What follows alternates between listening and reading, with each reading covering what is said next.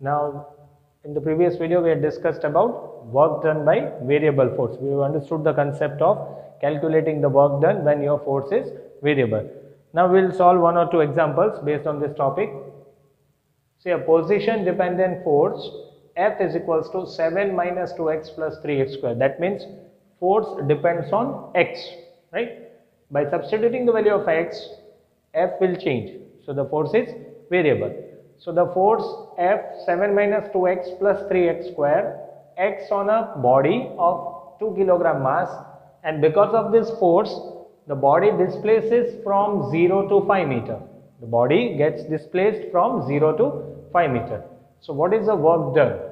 Okay. So, in the previous uh, video we had seen that whenever the force is variable and you have been said to calculate the work done will uh, go by using integration right? Okay. So work done will be integration f into dx. Now how to set the limit?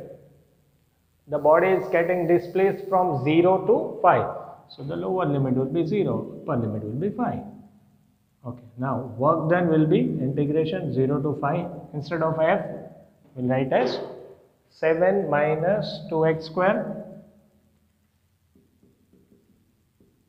sorry 7 minus 2x plus 3x square into dx. Okay so now work done will be 0 to 5 7 dx minus 0 to 5 2x dx plus 0 to 5 3x square dx. Right? Already motion in a straight line in the chapter motion in a straight line.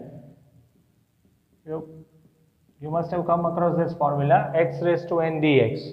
This will be x raised to n plus 1 upon n plus 1 and will have the limits. Right? So this is the formula of integration. So now let us integrate this. Work done. 7 is constant. I'll take it outside. dx integration of dx. With the help of this formula will be x. Okay. 0 to 5 minus 2 is taken outside because it is constant integration of x dx. It will be x square by 2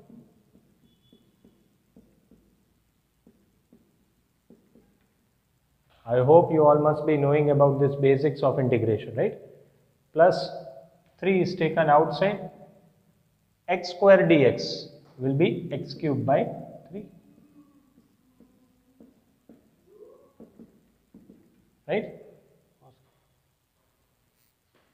So now let us substitute. Now apply the limits. Work done. 7 upper minus lower limit. So it is 5 minus 0 minus 2 to gets cancelled x square. So it will be 25 minus 0 plus 125 minus 0 so it is 35 minus 25 plus 125 so it will be 10 135 joule. This will be your answer. So this is the option right? This is how we'll solve the questions based on variable forces. Now let us go for another question. Let us see one more example. Body of mass 3 kilogram is under a force which causes a displacement s equals to t cube by 3 that means displacement of the body depends on time we have to find the work done by the force from 0 to 2 second. Okay so now in the in this case displacement depends on time. So if time changes displacement will change and accordingly work done will change. Fine we have the formula work done is integration force into displacement.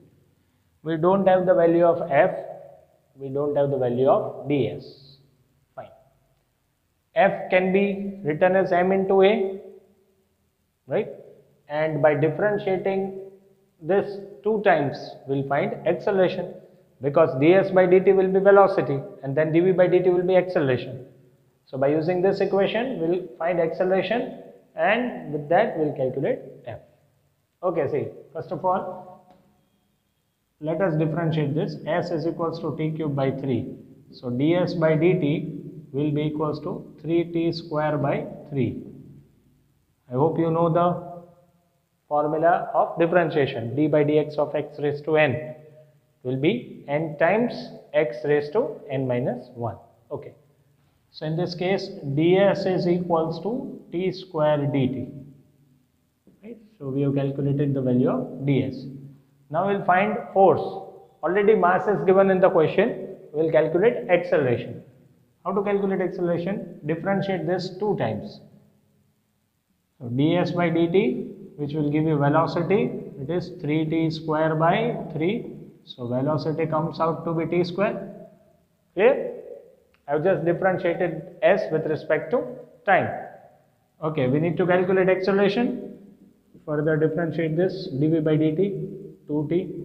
So now acceleration is 2t. What is f? F is ma.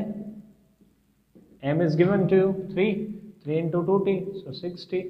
So now you know the value of f, you know the value of displacement. Substitute in this formula. Use this equation. Work done f into ds. You can apply the limit. Limit is given in the form of time 0 to 2 second. Okay. Instead of f, I can write as 60 and instead of ds, I can write as t square dt. So it will be 60 cube dt. 60 into t square, 60 cube dt. t cube dt.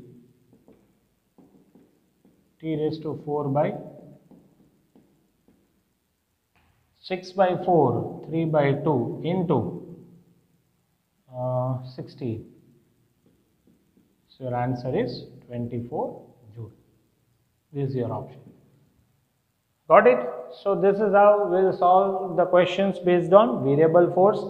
Now in next video we'll discuss about work energy theorem. It's the most important theorem, work energy theorem. Many questions of other chapters can also be solved by using that equation.